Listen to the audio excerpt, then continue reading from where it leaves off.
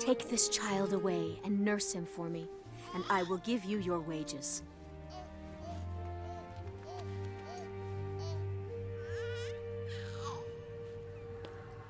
Wait!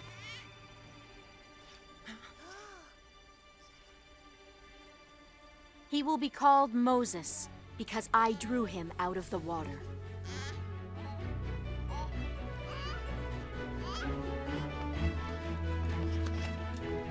Moses.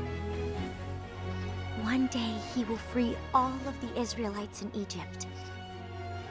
This was all part of God's plan.